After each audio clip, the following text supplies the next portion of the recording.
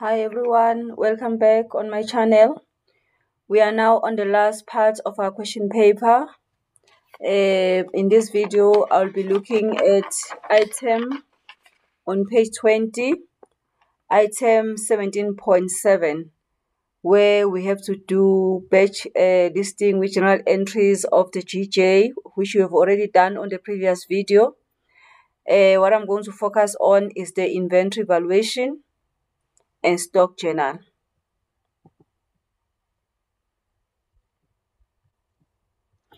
Uh, to do the inventory valuation report, you need to uh, update all the uh, transactions that you have done, starting from uh, your printout number one. So you must just be on page 20 where you see the printout that you need to submit. So it means um, 17.1, uh, sorry, 17.2 supply journal.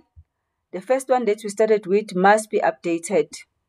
And then 17.3, which is your supply invoice, debit note, tax invoices, credit note must be updated. So how, how do we do that? You go to process, uh, suppliers, and then you'll see that your suppliers are still active here.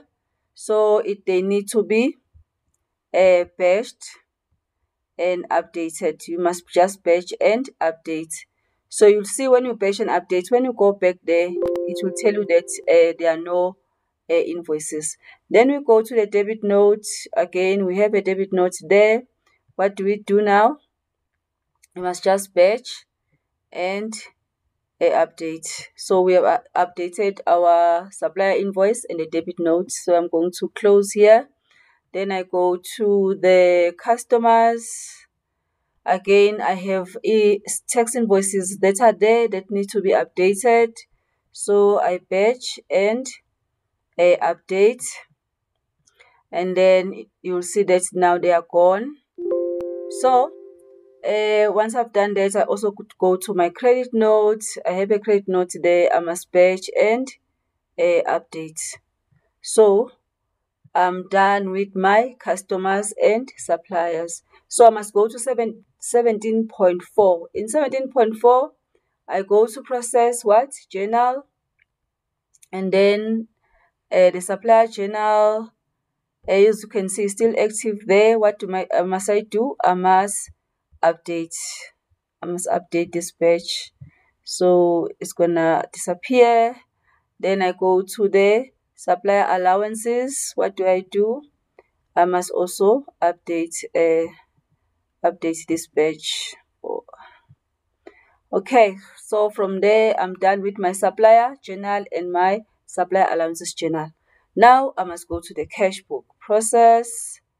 A cash book process cash book as you can see they are still active there. They need to be updated. You can just say update uh, update payment and receipt. So it's going to update both. Even this one is going to be updated when we do that. So we go to update uh, update payment and receipts so they are updated. You can see they are gone and they are no longer there. Remember the pc cash was already updated because we wanted to print a cash book details. So uh, we close there and then also your bank reconciliation process uh bank reconciliation. So you are there click on next. And then um you have to update uh, your brs there. So make sure that all these things are printed before you can update them because uh, they, they you won't get them again if you just update without printing them when they are required. So we have printed, I mean, we updated the bank reconciliation and then the cash book details uh, were printed because they were updated. Now uh, we need to print our general journal. So we process uh, journals and then uh, we go to general journal. Then this information also need to be updated. So it means all our transactions have been updated. How do we see that? If you check in your general ledger, you'll see now that your general ledger account's got balances on it. So we can now do uh, 17.7.2. What does it say?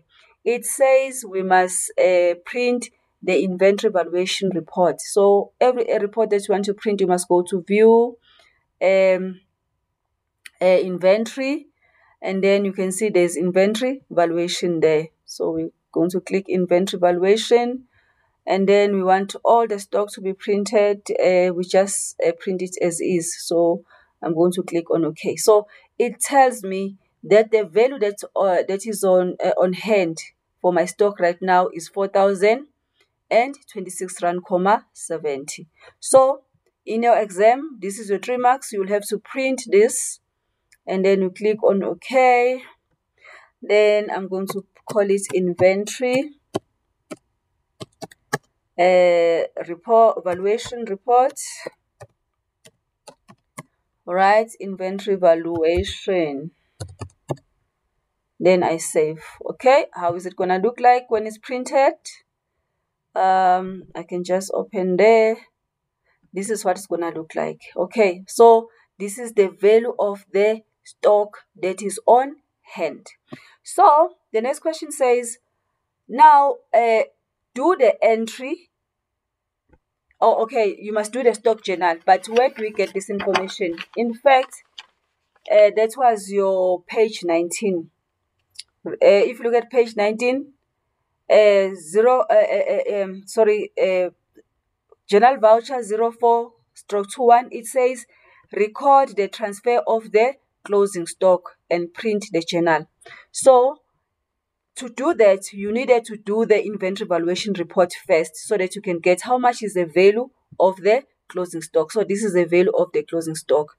So, and then how do we then record? Once we know the value of the closing stock, we close where we are, and then you go to process uh, journals, and then you go to the stock journal. Yes, you go to the stock journal, and then you check your settings your settings must be uh, no contra account, DCS transaction, untick description, untick text. It must show debit and credit, increment no.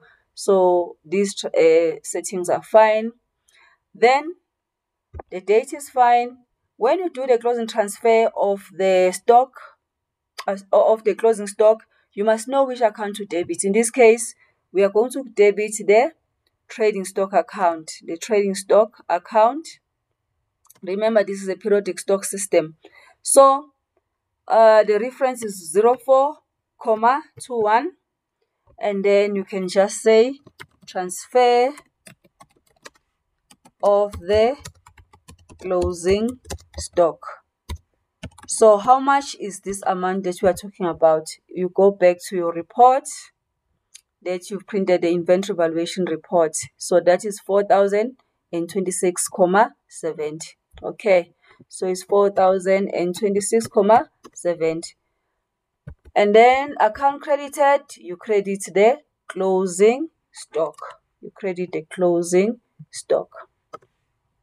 So once you have, you have, you have done this, it means you are done uh, with your with your entry to the stock journal. So, um, this is a, a, a, it's about the closing stock. So, if you find this video um, helpful, make sure that you subscribe on my channel so that you don't miss out on my next video.